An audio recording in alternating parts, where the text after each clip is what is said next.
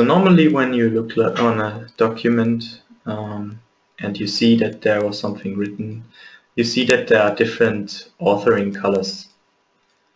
To see who made these changes, you can either look in the list of current participants on this text, and there you see that there are currently two different authors writing at the same time. For instance, Tamsin and this test user. If you want to see a better overview of past events, you can always go back to this clock and if you press on it you can see the history of the pad.